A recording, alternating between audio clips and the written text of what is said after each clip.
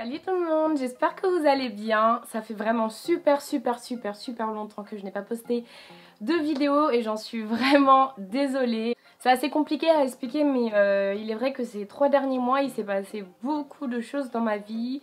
Euh, que ce soit des choses plutôt positives comme négatives. Et c'est vrai que j'avais vraiment besoin de prendre un peu de recul et euh, de m'éloigner entre parenthèses euh, des réseaux sociaux. Surtout que je n'avais vraiment pas la motivation. Donc dites-moi en commentaire si ça vous arrive de temps en temps d'avoir des périodes comme ça. Mais voilà je voulais m'en excuser. En tout cas maintenant je me suis reprise. Je fais de mon maximum pour revenir et surtout pouvoir publier régulièrement parce que c'est vrai que moi aussi ça m'avait manqué. Bref, en tout cas, me revoilà aujourd'hui avec une nouvelle vidéo et vous avez été d'ailleurs de nombreuses personnes à me poser des questions à propos de mon voyage en Crète. Donc vous avez été de nombreuses personnes à me demander euh, de vous donner un peu plus de détails sur mon, voyage, de son organisation, des tranches de prix, etc. Dans cette vidéo, je vais vraiment vous détailler de A à Z tout mon voyage. Comme ça, ça vous permettra si jamais vous voulez aller en Grèce de pouvoir planifier au mieux votre voyage. D'habitude, n'hésitez pas à vous abonner à ma chaîne YouTube pour me soutenir, à mettre la petite cloche comme ça, vous allez louper aucune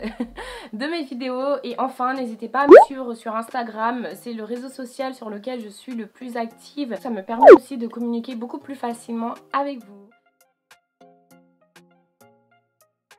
Donc déjà, pour commencer, le premier conseil que je peux vous donner, si vous voulez aller en vacances, et surtout en cette période, c'est vraiment de faire des recherches sur la destination où vous voulez aller.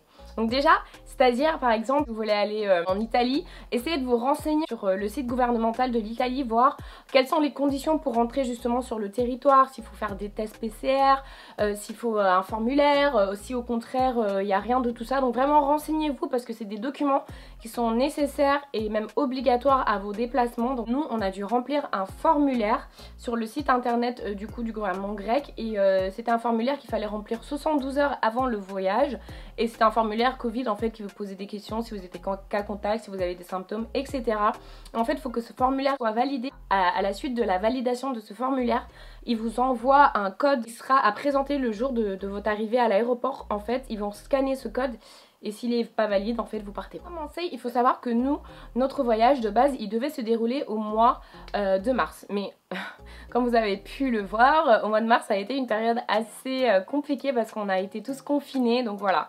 On a dû vraiment annuler nos vacances. On était dégoûtés. Franchement c'était vraiment le le truc qui nous a plombé le moral, mais bon, après c'était pour notre santé, c'était pour notre sécurité, on n'avait pas le choix, donc on a dû annuler le voyage et euh, on savait pas vraiment en fait quand est-ce qu'on pouvait repartir, donc on a, a décidé d'attendre un peu, de voir comment s'améliorer euh, justement euh, bah, le virus. On a attendu le mois de mai et à partir du mois de mai, on avait un peu plus d'informations, mais on savait toujours pas si on pouvait quand même voyager. Parce que c'est vrai qu'avec le virus, on pensait vraiment que toutes les frontières seraient fermées et qu'on ne pourrait pas du tout quitter le territoire français. C'est avéré que la Grèce faisait partie justement des pays qui acceptaient de garder leurs frontières ouvertes, en tout cas avec la France. Vraiment, on était super contents. Donc à partir de là, on a vraiment commencé à planifier euh, notre voyage à l'avance pour vraiment ne pas se retrouver au dernier moment à pas pouvoir partir. Ce qu'on a commencé par faire, c'est euh, faire des recherches avec euh, du coup tous les amis avec qui on est allé en Grèce euh, sur les billets d'avion. C'est vraiment réparti euh, la recherche de billets d'avion. C'était celui qui trouvait le moins cher à chaque fois qui envoyait les autres et puis on se concertait.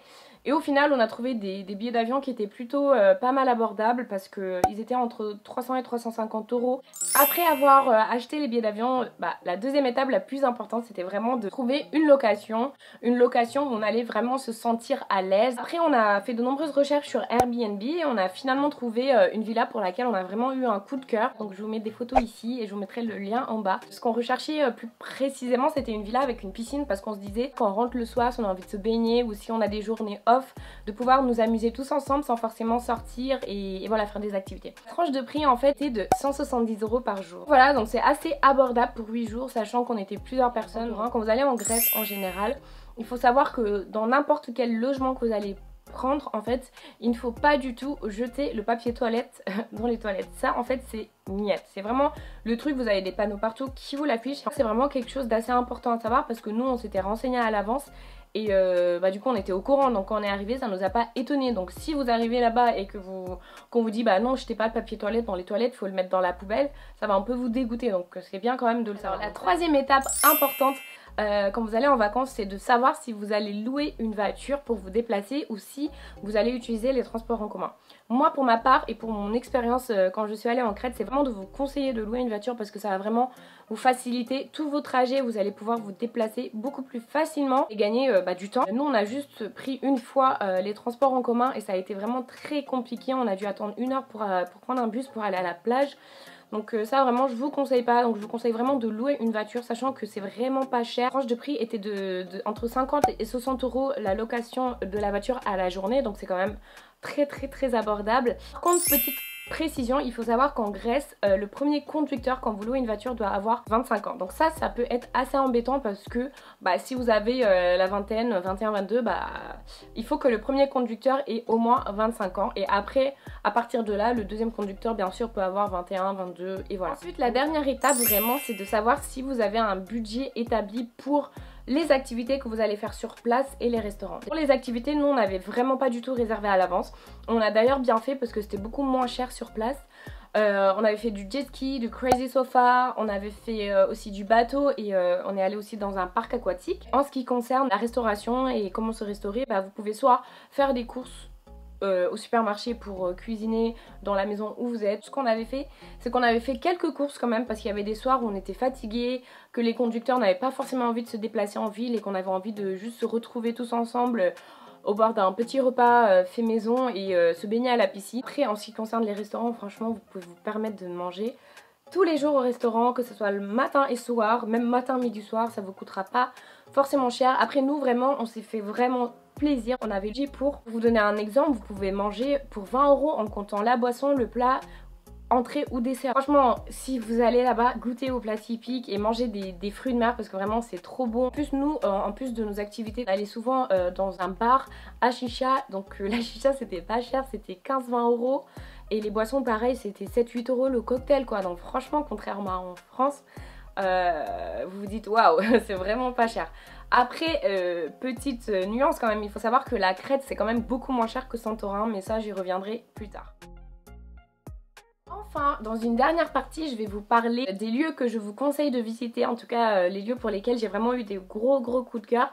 Et je vous ferai un petit topo sur la mentalité des Grecs, sur euh, bah, mon voyage là-bas et ce que j'en ai pensé. La plage que je pourrais vraiment vous conseiller de visiter, c'est euh, dans un premier temps ici, c'est vraiment un petit coin de paradis, c'est magnifique.